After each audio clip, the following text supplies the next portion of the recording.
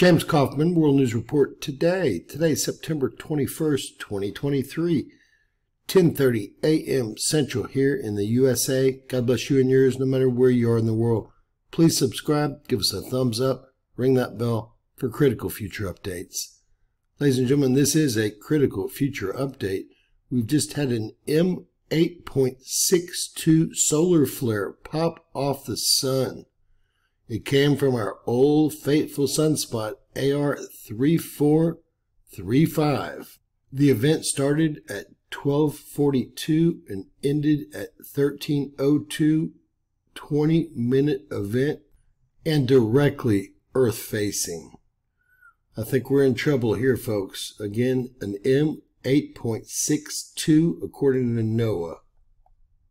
Heading over to GOES Solar Ultraviolet Imager GOES 16, 195 angstroms. You can actually see the X flare occur right there. I will say that it appears there's another flare right to the right that occurs right after the M8.62. Wow, folks, what is going on?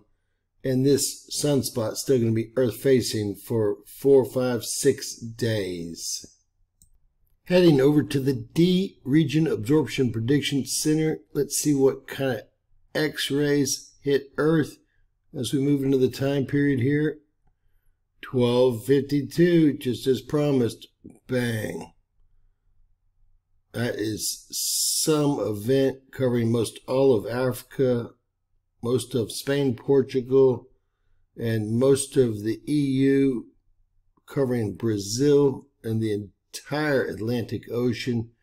It looks like only the Lesser Antilles were covered by the heavy X-ray dose here, not the rest of the Caribbean.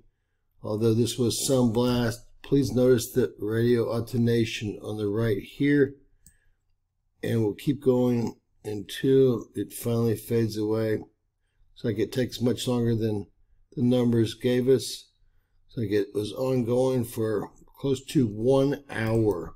Wow.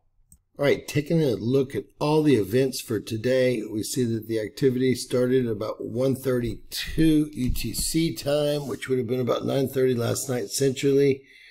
And we've just had, as you guys know, the M8.62 solar flare directly Earth facing, the last event you see here.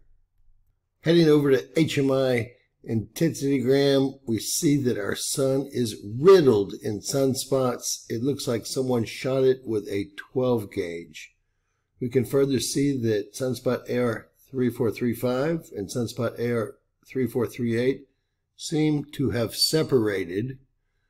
3435 is still a complex sunspot being beta gamma currently. NOAA has come out to say that there is a 5% chance of an X flare today, and there was a 50% chance of an M flare. I guess that ship sailed. With that said, there's not much else to say except for hold on for the ride.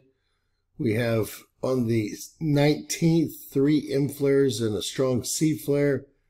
On the 20th, we have that very strong 8.1 magnitude M flare, and then we just had another M class 8.62 that almost broke the X flare threshold.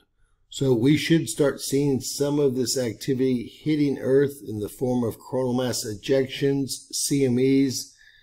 I would say late this evening into tomorrow, some of the flares from yesterday and today will take a little bit longer, but since they're such strong flares, they're going to be moving much faster. So we'll look for about a 40 hour window for impact for each of those, maybe a few hours more than that. Uh, I will say that NOAA has come out this morning and said that the M8.1 yesterday will only deliver a glancing blow to Earth. We'll see about that, right? God bless you guys. Please share, subscribe, and always remember anything's possible. Bizarro world.